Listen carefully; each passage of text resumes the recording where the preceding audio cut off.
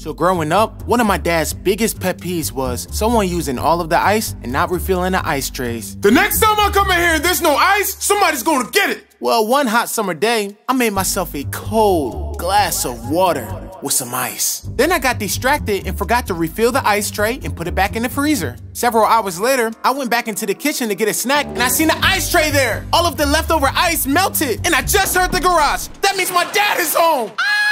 I had to think real fast and I got an idea. I refilled the ice tray and put it back in the freezer. Then I went to the breaker panel and turned off the refrigerator. That way my dad is just gonna think that the power went out. A few minutes later, my dad was like, What's wrong with this fridge? I don't know, maybe the power went out. Or maybe you made the power go out. That way I wouldn't know about you not refilling the ice trays. Oh my goodness, he knows! How did you know, daddy? Wait a minute, I was just playing. You really did that? Mm-hmm. Oh, you gonna get it? No!